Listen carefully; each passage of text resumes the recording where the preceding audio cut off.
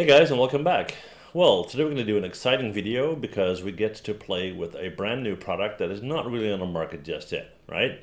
Now, some of you may know that I'm in the BenQ partner program. So BenQ sent over the PD3220U, that's a 4K monitor, top of the line for professional graphic artists, right? So we're going to do a review of that today. And what I'm going to do is instead of boring you guys with 20 minutes of unpacking cardboard boxes and whatnot, I put up a sequence of uh, images with all the relevant information. We're going to put some nice tunes under that. So you can check that out at your leisure. And then when that's done, we're going to go back in and we're going to talk a little bit more. Okay? So let's check it out. Here we go.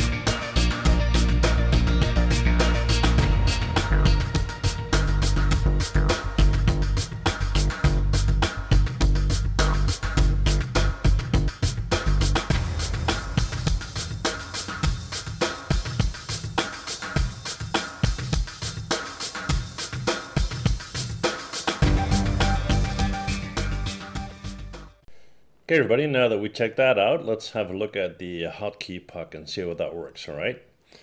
So, uh, I'm just in Photoshop here, and here's our puck. Uh, you have the main knob in the, in the center right there.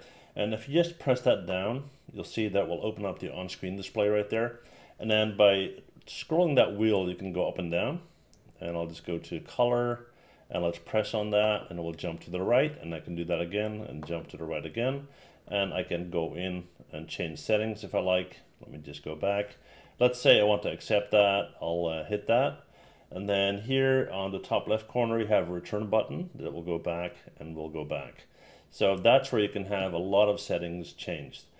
Now also here you have these three presets. So the one on the right here is display P3, the one down here is sRGB, and this one is M-book, and that's the one I'm using, okay? So that in short is how you use the hotkey puck. Now, in general, uh, looking at the monitor here, what's important for me is uh, color accuracy. Uh, when I'm working for clients and I got a certain color that I need to meet exactly, uh, I want to make sure that I have the opportunity to calibrate the screen uh, well, and I did that with the Spyder. Uh, also, I want to make sure that I have um, a range that is high enough. So this is a 10-bit monitor that helps. That means that you have well over 1 billion colors instead of 1 million, which is typical for an 8-bit monitor. And uh, all in all, I like the design. Now, for me, this is not a huge surprise uh, because I've been using it for a couple of years now. And also, my other screen here, that's the PD3200U. This is the 3220U, okay? So um, yeah, that's my first impression. Uh, I like it so far. I'm going to do an update in I would say a couple of months or so to see how it holds up. But uh, like I said, I've been using these screens for years and it meets my need for sure. Okay guys, well thank you for hanging out for the review. Uh, I thought it was fun. I'm really enjoying this. Uh, of course, it's too soon to have an in-depth uh, review. I mean, I just got uh, the monitor uh, so like I said, I'm going to do a review in a couple of months or so. Uh, but you know, base your opinion on the facts, on the numbers, and go from there. Okay, so have fun with that. Hopefully, you will make the right choice, and see you guys soon. Bye. Well, thanks for watching, and before you go, please hit that MH button to subscribe. Okay, see you guys next time. Bye.